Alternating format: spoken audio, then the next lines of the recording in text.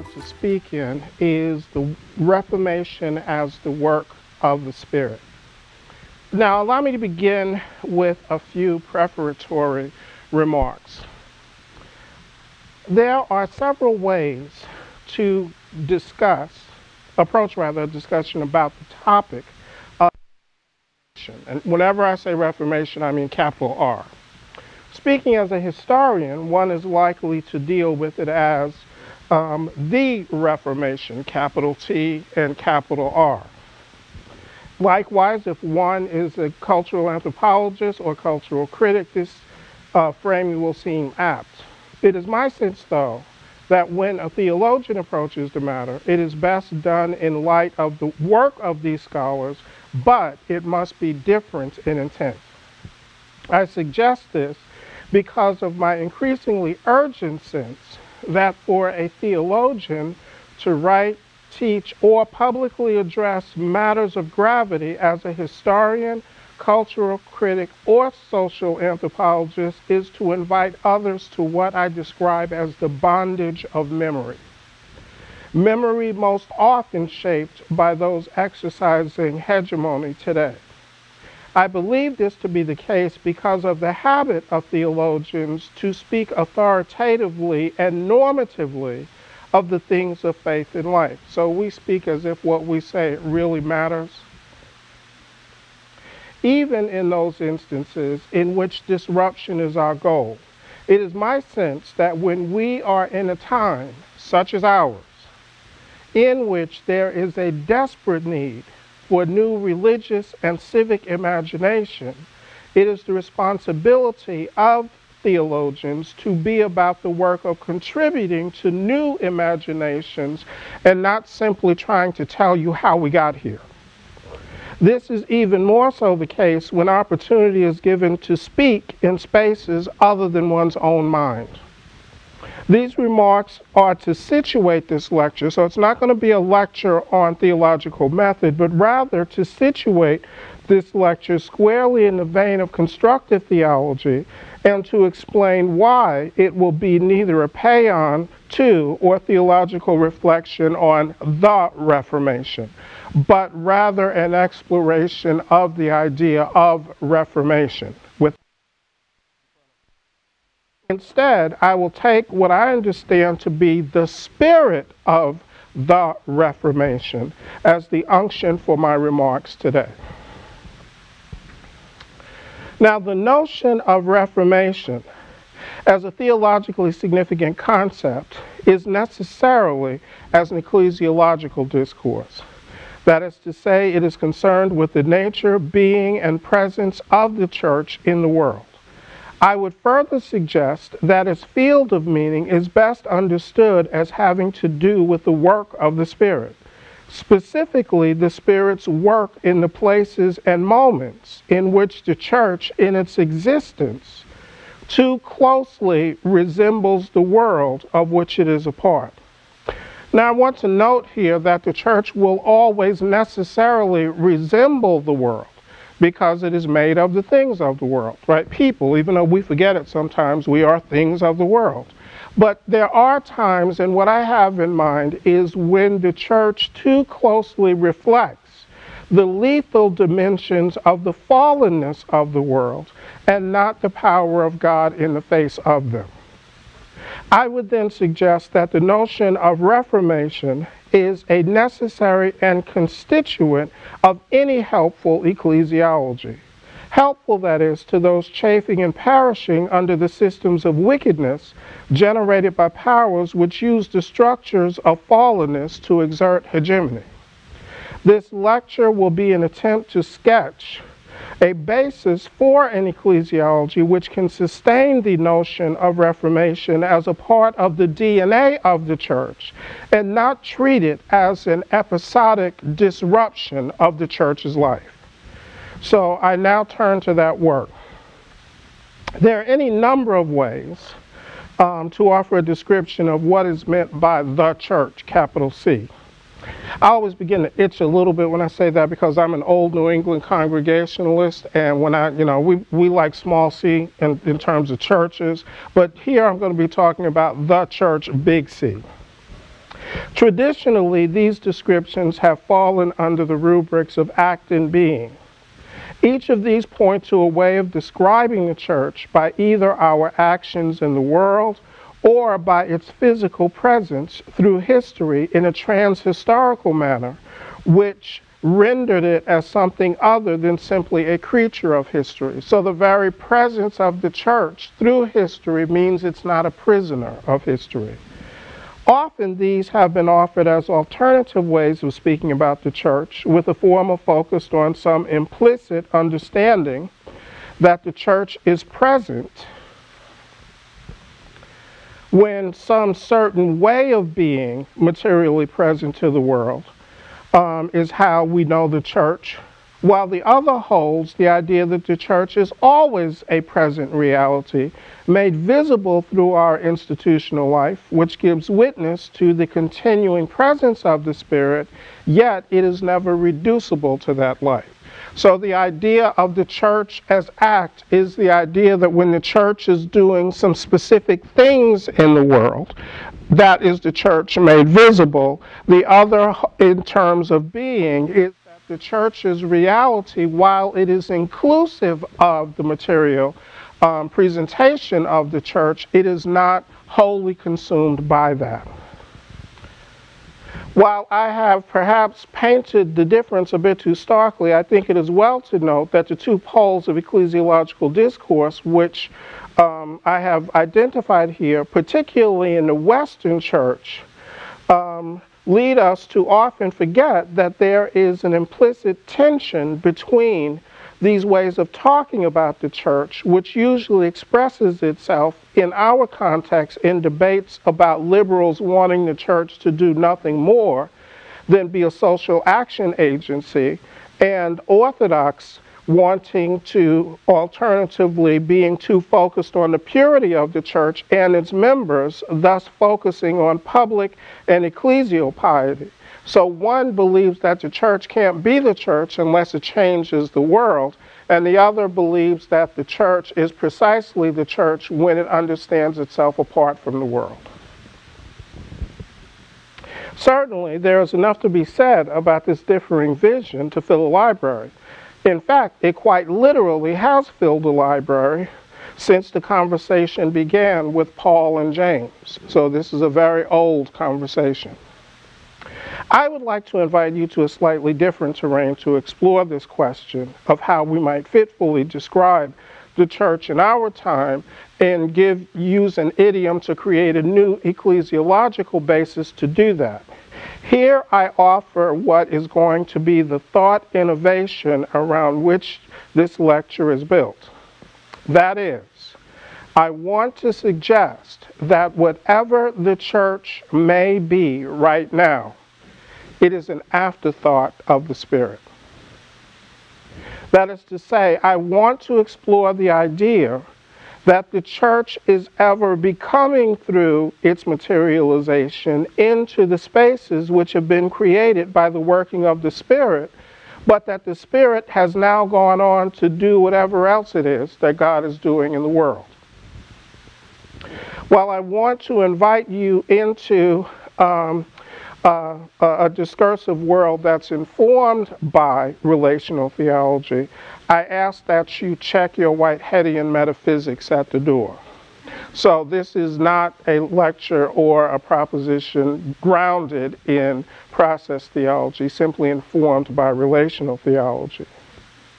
Now, in its place, I would rather you might try on what I think about as the beret of unknowing. Y'all know I'm a big fan of berets, and I think they cut quite a good image. So if we're going to be ignorant of things, we might as well look good doing it, right?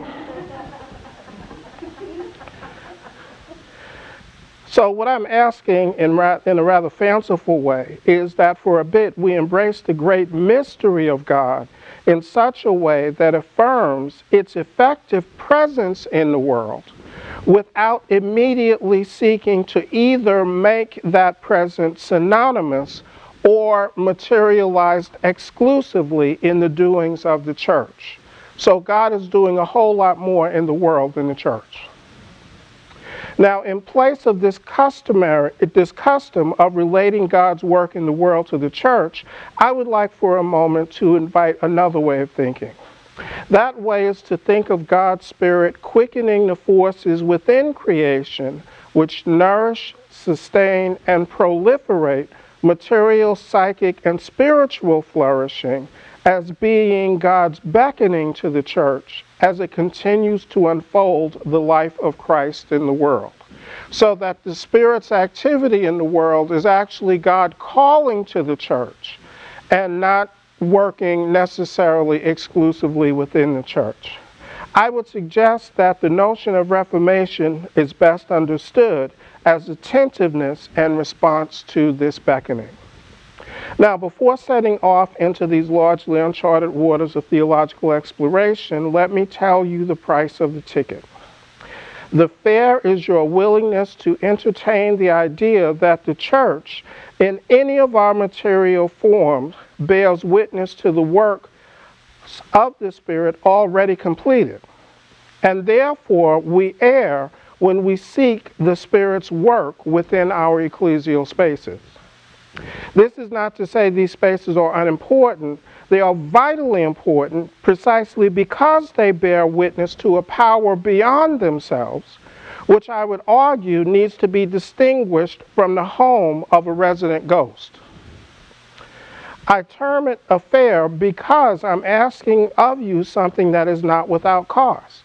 Cost in your time here today and perhaps cost in making room in what I know are already full imaginations for thinking about that to which we have all dedicated our lives, the church, and our place in it as parts of the Missio Dei proleptically.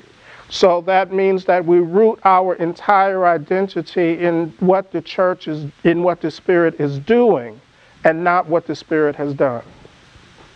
And only secondarily, then, in terms of contemporary substance.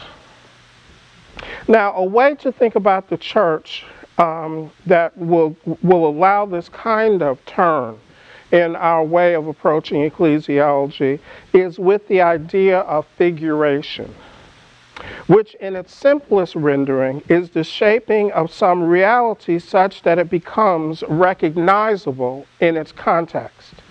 This simple definition is helpful because it calls to mind two dimensions of the church's reality, which we sometimes forget. First, it has never been the claim that the church is the instantiation of the Spirit of God. That has never been the claim. Often, the historic claim that the church is the vessel of salvation has been mistaken for a claim of instantiation instead of its intended meaning, which is that of via gratia, a means of grace or a way of grace. This misunderstanding has often led those with a high ecclesiology and low to presume that somehow it is sensible to talk about the church as synonymous with the Spirit. So when we talk about the church, we automatically think we're talking about what the Spirit is doing in the world, whether speaking for or against a proposition. So high ecclesiology would speak for it, low ecclesiology would speak against it, but both are making the same error. So the idea of figuration clarifies that the church makes something visible and recognizable in the world in a way of reference and not necessarily representation. That something is, I would argue, the Spirit. The idea of figuration also reminds us of the importance of context in this whole conversation. The particularity of matrices of communal experience, systems of meaning, cosmologies, and epistemologies all shape how a particular figure will be received as a vehicle of mediation for some reality apart from itself. This is not to say that the figure is a creature of context, it is always much more than that. It is to say, however, that apart from context, a figure is quite literally senseless. A quick example the figure of the Good Shepherd. Even with its centrality to Christian iconography and popular uh, Christology, each new generation of Christians must be given intense education about the life and tasks of a shepherd for this figure to make sense. Because so few of us have any contact whatsoever with the sort of agrarian life in which a shepherd is still a full time um, job. This, even more so, as persons in communities are generationally removed from any sort of husbandry beyond that of caring for the family pet. A figure then draws on the noetic conjuring of reality by an audience as the stuff of which it makes its meaning. Now, with this in mind, we might then more clearly understand the idea of the church as the figuration of the Spirit. With this idea, the church is understood to be the way that the Spirit is made contextually recognizable within the material world within which we live. This recognizability is not to be mistaken for the instantiation of the Spirit, but the remainder of what is left when the Spirit has done its work. It is rather a material referent which points to the Spirit's work within creation. I can, let me spend a moment on a fine distinction here. To say that something is an instantiation of a reality beyond itself is to say that there exists an identity between them and that they are two ways of being that reality. So by saying that the two are, by saying that the church is an instantiation of the Spirit, you're making the, ch- uh, the church synonymous with the Spirit. And the world is too big for us to believe that the Spirit is only interested in the doings of people whose names happen to uh, show up on some parish or some congregational roll in terms of membership. Alternatively, to say that something in its material form is evidence of the consequence of the presence of the reality of which it is referenced recognizes an essential difference between them, such that one is never subsumed into the other, therefore leading to ontological confusion. From my perspective, maintaining this distinction is critical precisely because it is at those moments in which the church mistakes itself for the instantiation of the Spirit that it elevates the contingent features of its existence, which are necessarily bound by history and context, to the level of the holy, which is by, which is by definition idolatry. So when the church fails to lose sight of itself as conditioned by the space and history, the geography in which it exists, then what it's doing is making the spirit a prisoner of those same features of um, uh, finitude, um, which is, by my definition and by the definition of the tradition, idolatry. So then, if we take the church to be a figuration of the Spirit, what might we say about that figure? on what is it based? What is its shape and its form? It is just here that I want to make what will be um, uh, uh, or flesh out the claim of this lecture. I want to suggest that the figure of Jesus of the Gospels, from which the church draws, is that from which the church draws its figuration of the Spirit. Now, this claim is not novel. It is what, in, inco- in an inchoate way, the What Would Jesus Do movement was trying to get at, what many of the people who are spiritual but not religious are intuiting, um, what the nuns um, have down to a science. The novel claim that I want to propose is that the figure of Jesus is what the figuration of the Spirit is for the church because his life was a figuration of that self same spirit, and that his life continues to unfold in the world. Now, when I use the word his, I'm not using the capital H trying to inject gender into the Trinity. I'm rather very specifically talking about Jesus of the Gospels because I want to anchor the idea of figuration in what is given to us in the text and not what's given to us in the ruminations about the text that have become ensconced in our tradi- traditions. Consequently, the figuration of the Spirit by the church is the ongoing unfolding of Jesus' life, which will not reach its fulfillment until the eschaton. To me, that, that's the sort of logic of the Christian faith is that Jesus is still alive and, and his life is still unfolding in this world, and that a church, the church is a part of that unfolding life. This then raises for us the question in what do we anchor this figuration? So, so what reading of Jesus' life?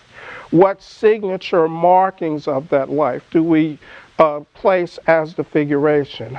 What exactly is the presentation of that life that is the prime referent in which this figure is grounded?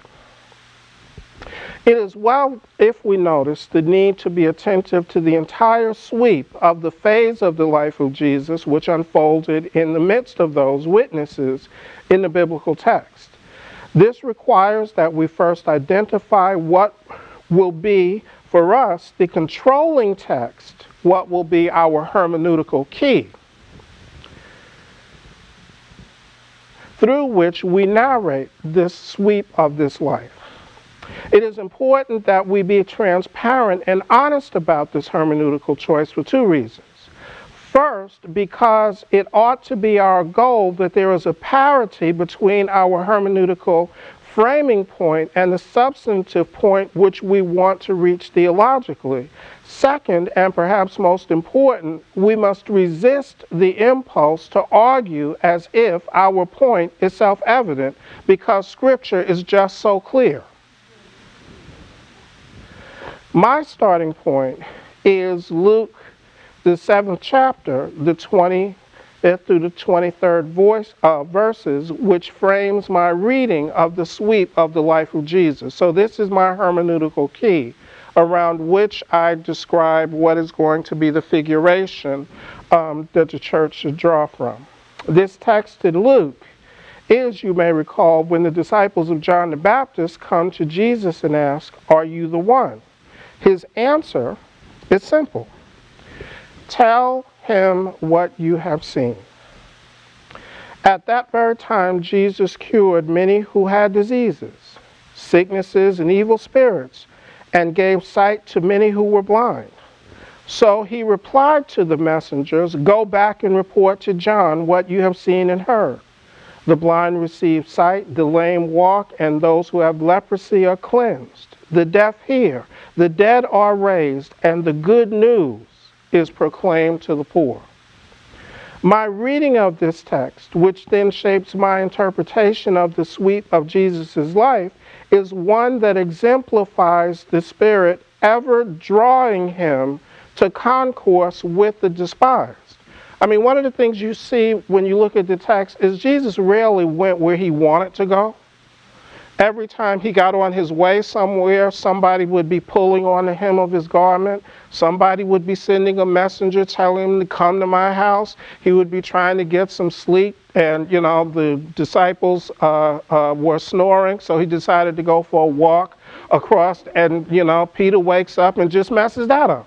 So he never, he rarely goes anywhere of his own choosing. He's always called to be somewhere, and he's always called to be in the presence of hurting people, in the presence of people who are suffering.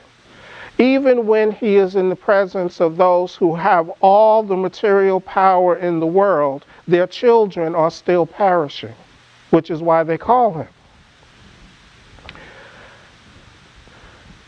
Now, each of the people to whom Jesus has been drawn uh, has drawn the attention of John's disciples to would be generally seen as ritually unclean. That is to say, not only would they be shunned by polite society, they would be barred from the sanctuaries of the holy precisely because their condition manifested what many religious folk would call the marks of sin. This seems a recurring theme throughout all of the Gospels that Jesus is called into the midst of those deemed unclean by polite society and the religious folk of the day. Folks who, by definition, stood outside the gate of religious establishments. A point often glossed over is that it is not so much that Jesus goes looking for these people as he is called into their midst and frequently makes reference to the faith which he already finds there. Now, it is just here with this notice of the spaces into which Jesus is beckoned that I want to suggest we see the work of the Spirit most powerfully. More, I want to suggest that we begin to see what I have termed the figuration of the Spirit in the materialization of Jesus' work of healing and restoration of those cast away by polite society and the religious. Here I want to be precise with my description of the model I'm inviting you to imagine, the basis for developing a new ecclesiology. There are three moments perichoretically related. First, the Spirit of God hovers over the chaos of hurt pain, and exclusion that is the lot of the ritually unclean. From this space of being cut off from the sacred spaces, the Spirit beckons to that flesh bearing materialization of God's felicitous desire for creation, John 3:16, the one whom we call Jesus who then materializes the power of God's transformation of the material and social world through the restoration of the unclean to their own sense of wholeness and flourishing. A restoration which requires neither the assent or validation of polite society or the religious. The story of the lepers in Luke 17 is instructive because it narrates the coming of wholeness, or rather the coming to wholeness, of the unclean as they go into spaces in which they had been anathematized and rejected. Not so that they might receive a blessing, but so that the power of God might be made manifest in them leaving then polite society and the religious to respond in wonder and renewal or return to their ways from which God had extended an invitation to experience the power of salvation. Now, this triune movement is the economy in which the church, as the figuration of the Spirit, makes sense where Jesus becomes the materialization of God's felicity within creation, a felicity most of whose power is focused on the unclean, he is making spatially visible the power of God. It is this piece that I want to suggest is fertile ground for imagining a figure appropriate for the church. The church in this rendering are those material spaces in which God's felicity is made visible, most notably through the restoration of the unclean to their own agencies of wholeness, becoming demonstrations of God's power over and against the powers of annihilation, which are the powers of this world. It is important to note in the schema that the Spirit is always beckoning the church as it did Jesus to ever new spaces of materialization, always leaving present moments as historical markers of the constant presence of God with us.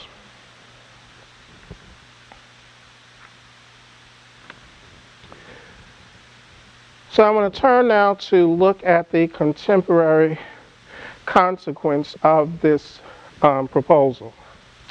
Where then might we intuit the figuration of the Spirit to which I have referred throughout this lecture? Where might we find the Spirit enlivening the despised and the unclean in ways that they experience and express their salvific agency that change the very context of their existence and in so doing invite others into it into a changed world. Where might we see the beckoning of God now in our context? Well, I am persuaded that the movements for human worth and dignity of the most despised among us, which have been unfolded in the streets across the nation, are precisely that beckoning. The Black Lives Matter movement and other movements of the like have been unfolding a power larger than themselves, which bears witness to the value of the particular lives whose very existence has been rendered in such way as to make them unclean in any material space into which they enter. These movements have, in their way, doggedly materialized the central conviction at the center of our faith about the worth of persons being an expression of God among us like the figuration of the Spirit materialized in Jesus, these particular instances of the church becoming have been in nondescript spaces of little consequence to any save those sentenced to cohabitation with legion. The challenge for us is to recognize uh, the contemporary figurations of the Spirit as being just that a figuration of the church, which is becoming and which is God's beckoning to us. In this, we find ourselves much like Nicodemus, being called by God into a new reality of which we have limited sense making tools and which may well mean our demise. Yet, knowing that a force is drawing us into the unknown future, Scripture does not record Nicodemus's response to Jesus' entreaty that he be born again. Neither, I think, will history record our response. But as with Nicodemus, the Spirit will continue on with God's work however we respond. Of that we can be assured. Thank you.